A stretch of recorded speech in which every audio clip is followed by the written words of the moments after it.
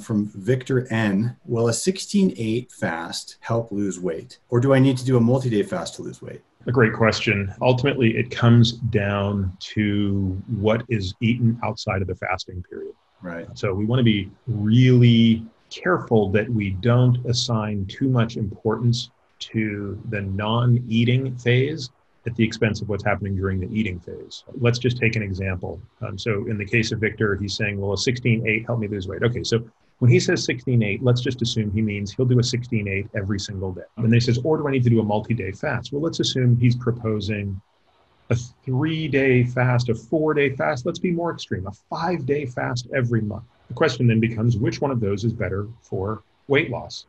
And the answer is, it's kind of a trick question because you might actually gain weight on both of those fasting regimens. Yes, you heard me right. You could actually gain weight on both. Actually, you're looking at you're looking at one example of someone who has. Uh, you know, yeah. depending on what I'm doing out in the feeding window. Exactly.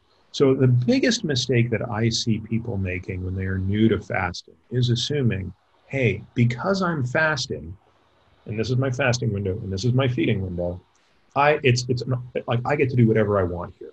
And the reality of it is that's just not true for most people. So, what you want to remember is the framework that I've proposed, which is this idea of time restriction, caloric restriction, and dietary restriction being the three variables that you're constantly toggling on as you manipulate your nutrition. Time restriction is what we're talking about now, which is when you eat, when you don't eat. Caloric restriction is how much you eat, and dietary restriction is what you eat and what you don't eat.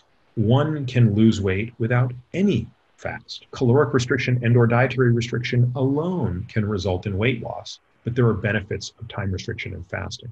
There are a lot of things to do here, but to me the right way to do this is to have a strategy in place for all three of these yep. and cycle through them. You always want to be pulling one of those levers. I kind of describe them as the three levers of nutrition. You should always be pulling one. You should often be pulling two and sometimes even pulling three. Zero provides a lot of tools that you can monitor these things. In the history tab where you can look at your your statistics, you know, one of the things I often look at um, I'll look at my, you know, I'll have Apple Health hooked up, so I have my weight, and my scale, uh, pushing weight into zero. I can look at things like, you know, what, what's my average fasting per, per week, per month.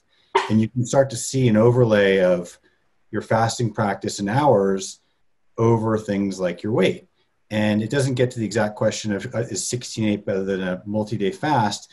But if you start to stack those total hours per week, for me personally, generally, I've seen that as a pretty strong correlation. If my hours of fasting are going up, all else being equal in my feeding window and I'm not eating like crap, my weight will either maintain or come down. So um, encourage people to definitely check out um, the history tab in Zero and keep tabs on this during your journey.